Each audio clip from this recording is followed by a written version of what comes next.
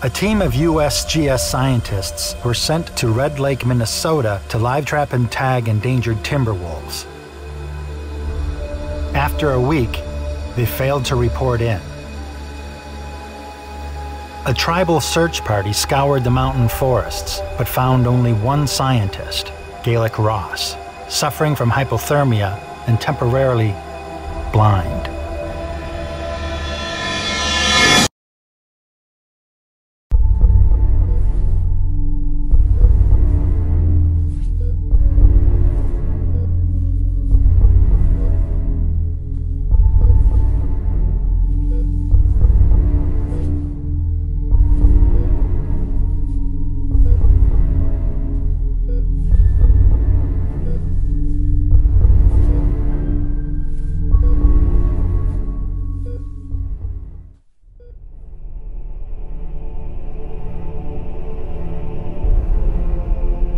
Gaelic demands answers. Why is he here? Why the handcuffs?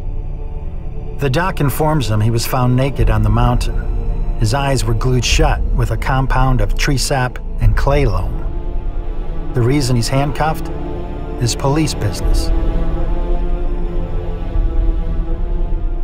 The tribal sheriff gets Gaelic's story. The scientists were on assignment to collar gray wolves with GPS.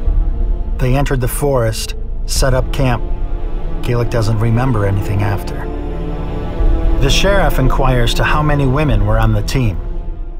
There were two.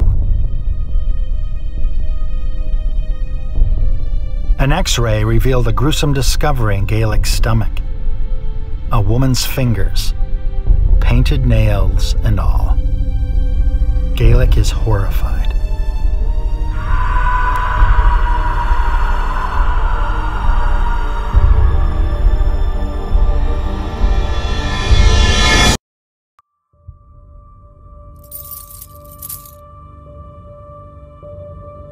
The victim's fingers didn't appear to have been chewed, but instead force fed down Gaelic's throat while he was unconscious. The doc was only able to extract one. He suggests Gaelic stick around until the remaining digits successfully pass.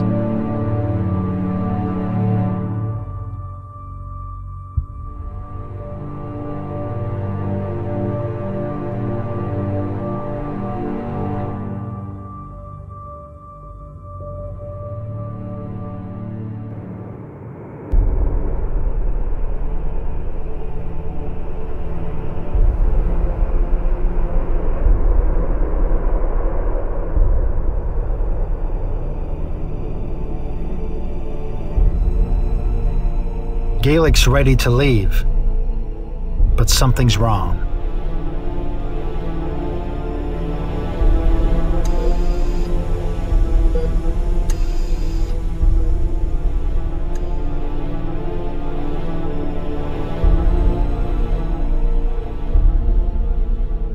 The doc recovered new digits from Gaelic's stomach.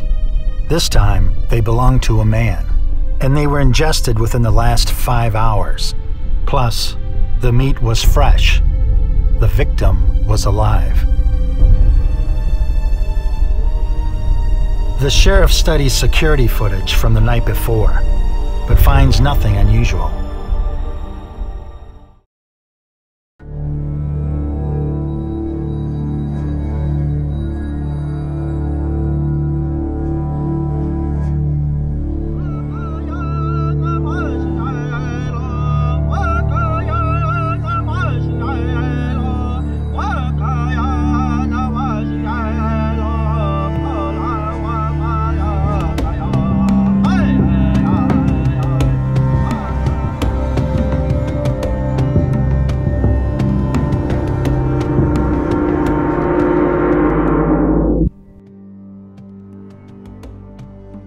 The sheriff informs Gaelic he believes the missing scientists are being kept alive, hidden somewhere nearby.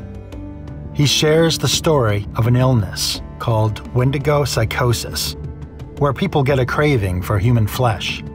It started with the Indians long ago, but mostly faded away once they started interacting with civilized society. He's convinced someone is acting out an ancient Wendigo ritual, and Gaelic is the victim. But the sheriff has a plan. They'll save Gaelic's team and capture the perpetrator.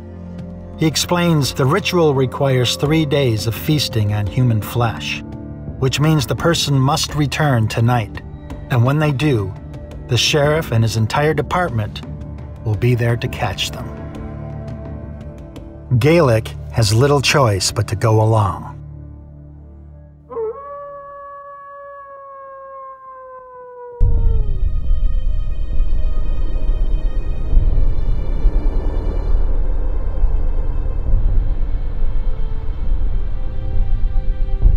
Gaelic cries out for the sheriff, but he's nowhere to be found.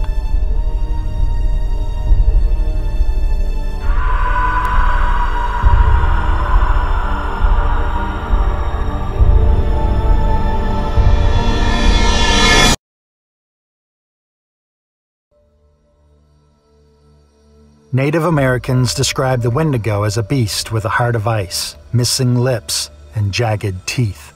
Its breath a strange hiss, its footprints full of blood, and it eats any man, woman, or child who ventures into its territory.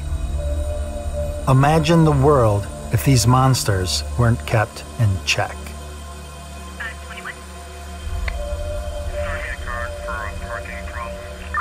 The great alpha Wendigo of the North keeps its population under control. Without it, mankind would be under constant threat. But even the alpha can't live forever. Someone must take its place. The sheriff understands this. Gaelic's sacrifice, while horrific, is a small price to stave off the Wendigo apocalypse.